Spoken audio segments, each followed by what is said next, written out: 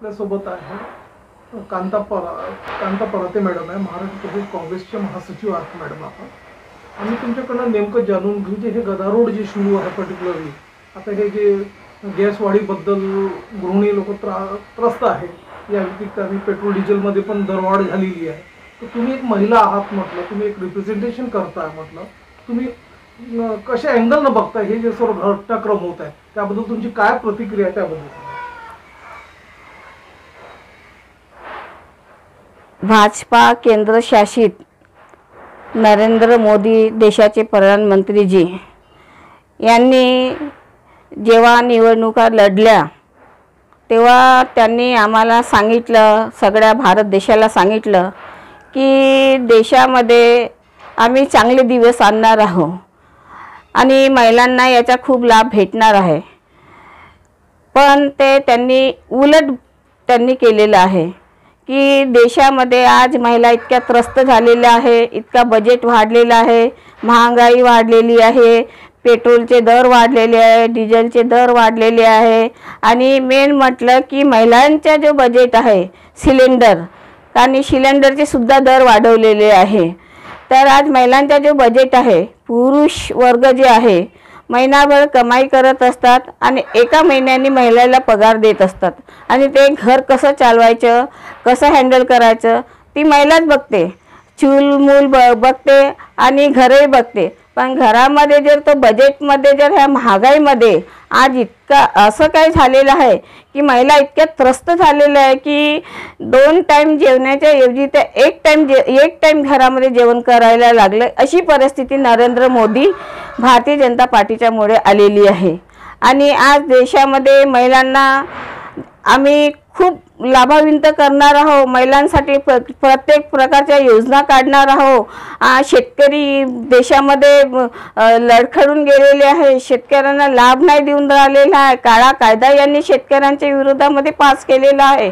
आणि शेत हर एक प्रकारचं यांनी सगळं देशातल्या नागरिकांच्या विरोधामध्ये काम करून राहिलेलं आहे. एकही विकसित काम नाही आहे. आज ना महानगरपालिका आहे. महानगरपालिकामध्ये काय करून राहिले हे लोक? काय करून नाही राहिले?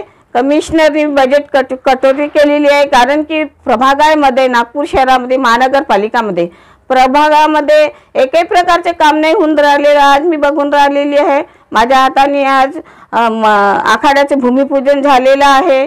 आणि की प्रत्येक लोकांनी म्हटलं का हे काम तर नगरसेवकांनी करायला पाहिजे. पण ते न करता मी आज भूमिपूजन त्याचं केलेलं आहे.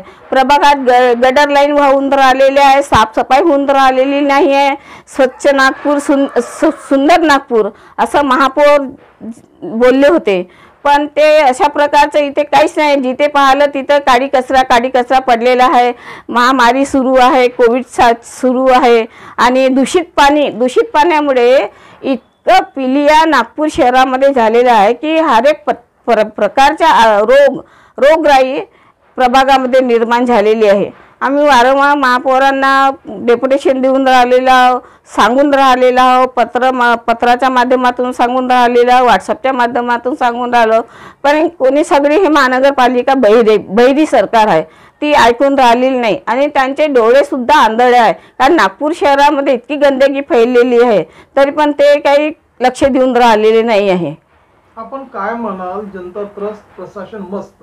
हे जे महानगरपालिकामध्ये वाटेघाटांची वाटेघाटे सुरू आहे. अशा बघताय आपण एक सर्वसामान्य लोक जे प्रभागचे आहे तिथे विकासाचे काही कामं झालेले नाही आहे इवन जे निधी जे अलॉट केली होती मागच्या जे मुंडे साहेबांनी त्या निधी पण त्यांनी अलॉट केलेली नाही कार्यदेश निघालेले आहे. पैशाचे पैशाचे तुटवडा आहे. असे नगरसेवक बोलतात आणि विकासाचे काही कामं करत नाही आपलं काय म्हणणं याच्यावर? माझे हे मत आहे की लोकप्रतिनिधी जो आहे तो जनतेतून निवडून आलेला आहे. आणि प्रशासन जो आहे तो गव्हर्नमेंटने सिलेक्ट सिलेक्शन केलेलं आहे. त्यांचं आमचे काम हे आहे की लोकांचे कामं कशी झाले पाहिजे. कारण लोक कशी निवडून देतात? लोक याच्यासाठी निवडून देतात नगरसेवकांना. की नगरसेवकांनी कामं करायला पाहिजे प्रशासनाने त्यांचे कामं केलेले पाहिजे. आज महाराष्ट्राचे मुख्यमंत्री प- प- पाच वर्ष मुख्यमंत्री राहिले आणि महानगरपालिका भारतीय जनता पार्टीची पंधरा वर्षापासूनची आहे. आठशे कोटीचा जो बॅकलॉग आहे हा कोणामुळे झालेला आहे? हा भारतीय जनता पार्टीमुळे झालेला आहे. काँग्रेसच्या जेव्हा महानगरपालिका होती त्यावेळेस तर बरोबर ती स्थायी होती. महानगरपालिका चांगली चालून राहिलेली होती. आणि आता महाराष्ट्राचे मुख्यमंत्री भारतीय जनता पार्टीचे आहे आणि नागपूरमध्ये महापौर भारतीय जनता पार्टीचे आहे. तर मग बॅक बॅकलॉग कशाला पाहिजे? का आता सुरक्ष सुरळीत चालायला पाहिजे महानगरपालिका. आणि जेव्हा आम्ही अधिकाऱ्यांशी बोलतो तर ते आम्हाला सांगतात की बॅकलॉग आठशे कोटीचा बॅकलॉग आहे. मग देवेंद्र फडणवीसने काय केलं? महाराष्ट्रासाठी आम्ही खूप करतो भारतीय जनता पार्टी खूप करून राहिलो देशासाठी खूप करून राहिलेलं. गरीब शेतकरी इतके मरून राहिलेले आहे हा साठ लोक मरून गेलेले आहे.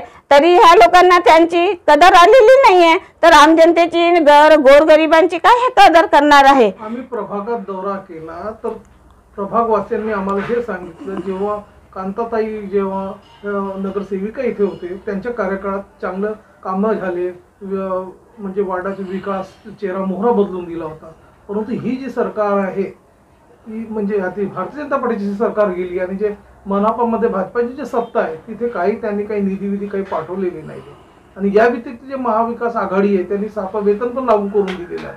परंतु प्रत्यक्षात वार्डामध्ये काहीच कामं होत नाही तर तुम्ही त्याबद्दल तुमचे काय म्हणणार आमचे मत हेच आहे की नगरसेवक जे निवडून आलेले आहे त्यांनी आपल्या अधिकाराचा उपयोग केला पाहिजे. कारण की ते आपल्या अधिकाराचा उपयोग नगरसेवक करून नाही राहिले. आहे प्रशासन यांना मदत करायला तयार आहे. पण नगरसेवक तेवढे ॲक्टिव्हच नाही आहे कारण की महानगरपालिका समजायला तिथे कमसे कम बारा तास द्यावं लागते. स प्रभाग बावीसच्या सगळ्या मतदातांना मला मी पण ह्या निवडणुकीमध्ये दोन हजार सतराच्या उभी होती. त्याच्यामध्ये मतदारांचे मी आभार करते. कारण की त्यांनी मला दहा हजार आठशे त्रेसष्ट मतं दिले. हे माझ्यासाठी म्हणजे मी निवडून येणाऱ्यापेक्षा जास्त मतं घेतलेली आहे तरी मी अशी माझ्या प्रभागातल्या लोकांना असे आवाहन करते कांताताई पराते पूर्व नगरसेविका महाराष्ट्राची जनरल सेक्रेटरी की ज्यांना कामा ज्यांचे कामं होऊन राहिलेले नाही आणि नगरसेवक झोपलेले आहे अशा लोकांनी माझ्याकडे यावं. असे खूप लोक असे आहे की ती माझ्याकडे येऊन काम करून घेतात. आपले गरजी गरजूचे कामं काढून घेतात. पण ज्या लोकांचे कामं निघतच नाही आहे आणि मी कुठल्याही पक्ष पक्षाचा मतभेद करत नाही आहे मी काँग्रेस पक्षाची आहे की कोणी भारतीय जनता पार्टीचा आहे असा मी क- कुठलाही मतभेद करणार नाही. आणि प्रभाग बावीसच्या लोकांनी आप कांता पराते ही आपली फॅमिली सदस्य आहे. असं म्हणून माझ्याकडे यावं. आणि जे कुठलंही काम असो त्यांच्या नागपूर महानगरपालिकेचे असो एन आय टीचे असो सिटी सर्वेचे असो कलेक्टर ऑफिसचे असो किंवा मुंबई मंत्रालयाचे असो त्यांनी माझ्याकडे यावं आणि आपले कामं त्यांनी माझ्याकडून करून घ्यावं. असं मी त्यांना आग्रहाची विनंती करते आणि आव्हान करते की जे नगरसेवक आता म्हणून राहिलेले आहे की आम्ही कामं करून राहिलेलं ते अजिबात काम करून नाही राहिले आणि तुम्ही माझ्याकडे अधिकारी अधिकाराने यावं आणि माझ्याकडनं काम करून घ्यावं.